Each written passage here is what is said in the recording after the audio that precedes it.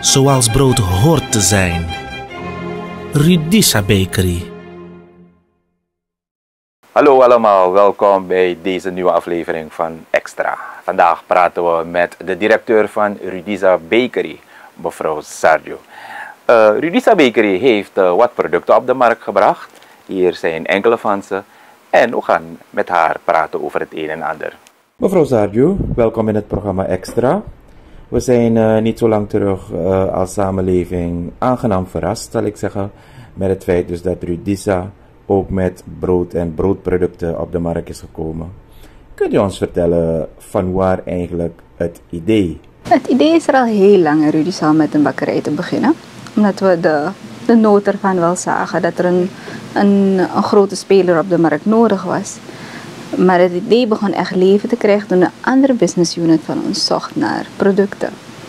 En die konden we jammer genoeg niet vinden op de markt. Het waren, ze hadden specifieke eisen, dat het uh, ge, gekwalificeerde producten moeten zijn. En ze moeten gecertificeerd zijn en van een bepaald niveau. En jammer genoeg konden we dat niet vinden in Suriname. Dus toen hebben we er werk van gemaakt, zodat wij wel zoiets konden produceren op eigen bodem.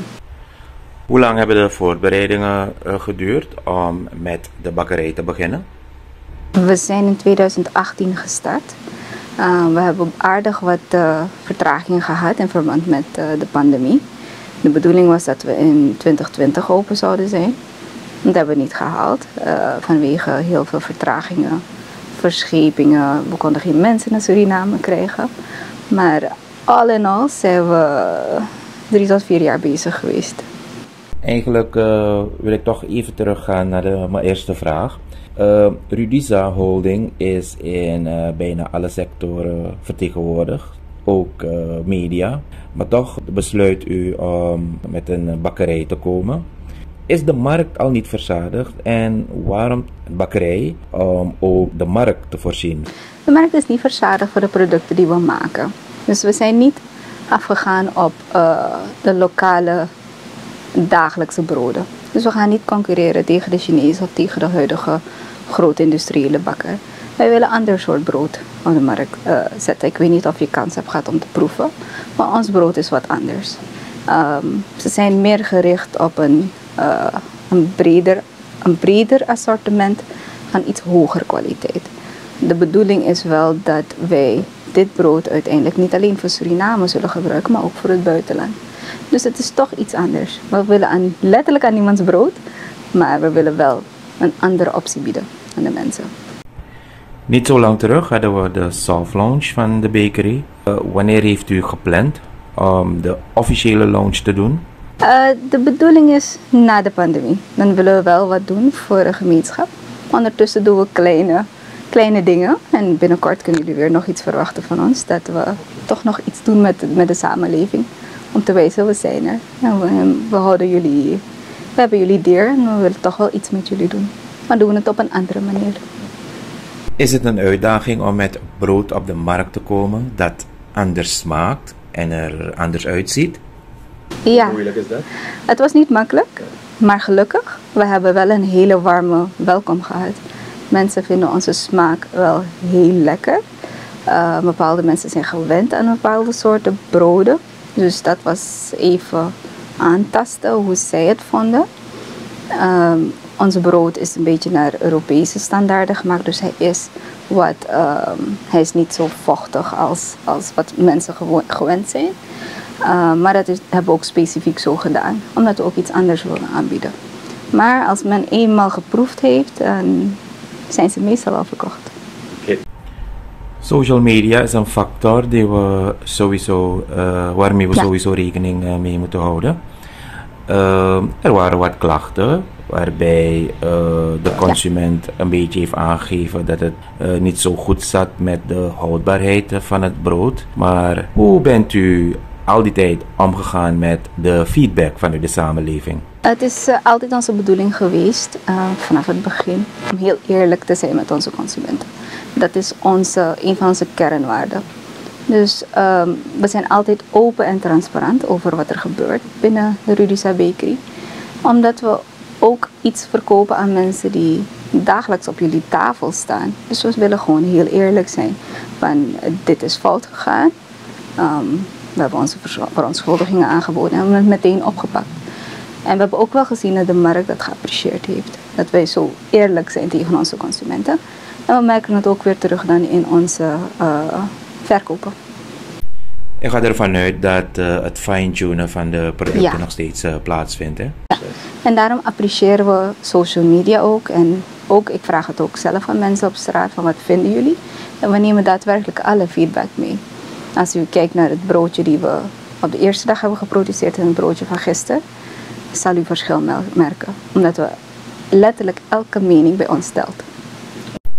Als u een onderneming start, kijkt u ongetwijfeld naar het marktaandeel, toch? Ja. U zei ook eerder dat u zich uh, als bedrijf richt op uh, export van uw uh, producten. Maar op lange termijn misschien, ja.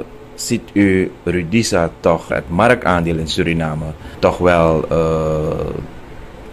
te ver, vergroten, verruimen? Het is niet onze intentie om dat te doen. Onze intentie is echt om kwalitatief goed brood te leveren. En we willen dat waarborgen.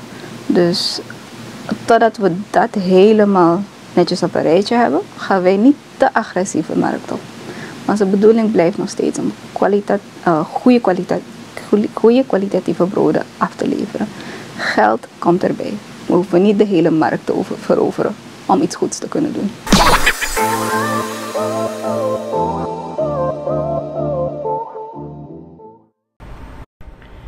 De bakery is uh, onderdeel van Rudisa Holding. Uh, zijn er plannen in de toekomst voor de bakery? De bakery heeft uh, plannen natuurlijk om in het Caribisch gebied uit te breiden. Dit is ons pilotproject, maar we zijn wel van plan om de eilanden en onze buurlanden aan te doen. Er zijn uiteindelijk. gesprekken. Er zijn al gesprekken. Um, er zijn ook al exportplannen. Dus binnenkort hopen we dat Surinaams brood op alle eilanden te vinden is. Lokale bedrijven hebben als uh, policy dat ze een sociaal paragraaf hebben binnen hun bedrijfsvoering. Dat zal ook niet anders zijn uh, bij Rudisa Bakery, neem ik aan. Ja, ja sowieso. We geven, um, we doneren sowieso een heleboel. Uh, we hebben aan, aan wat instanties de afgelopen tijd die het moeilijk hadden, geven we dagelijks ook wel brood.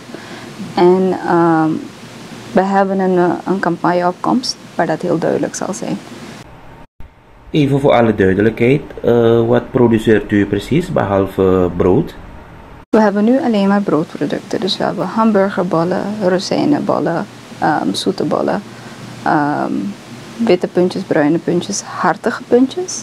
Dat zijn uh, gezondere broden uh, met zaden en dergelijke. Dus het is iets anders voor de Surinaamse markt. Maar hij is gelukkig goed uh, aangenomen. En dan hebben we uh, onze busbroden. Die zijn uh, wit, bruin, meer granen en hartig. Okay. En binnenkort komen we met nog twee, maar dat is een surprise. Nou, we naderen het eind uh, van dit gesprek. We leven in een pandemie. De uitdagingen zijn groot. We hebben ook te delen met een economische crisis. Heeft u, ondanks dit alles, een boodschap aan de mensen met een ondernemingsgeest? Om niet op te geven, maar om door te gaan en hun droom te verwezenlijken. Je zegt het heel goed, niet opgeven.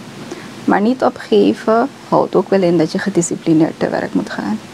Het betekent niet dat je, omdat je die dag geen zin hebt, dat je gewoon niet aan de weg moet timmeren.